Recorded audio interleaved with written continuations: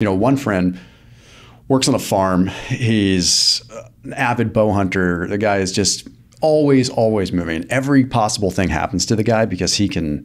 I mean, he'll get run over by a tractor one day. he'll, you know, get rabies another day. And I'm not exaggerating. Like the dude, everything happens to him.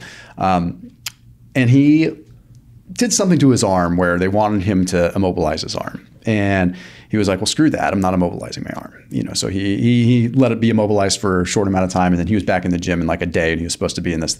And his recovery was almost miraculous with how fast, right? Compare that to another friend that had an injury with his leg and he followed everything that was, you know, he kept it immobilized. Was, recovery was there was a less significant injury than the gentleman that had the arm injury and his recovery.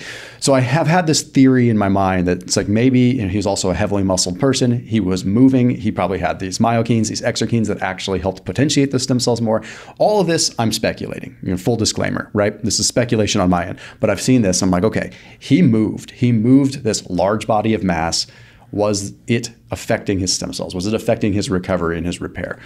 I'm inclined to think so, but who knows? I think you're right. Yeah. I think you're right on target. In fact, everything points to the the reality that your health and your ability to combat acquired problems like age-related frailty, things like that, is dependent upon how many healthy stem cells you can muster to respond to the natural processes and to any emergency. So it's funny, you know, you um, you mentioned the fact that that your buddy went from being immobilized and saying I'm not going to do that to be, to being very mobile.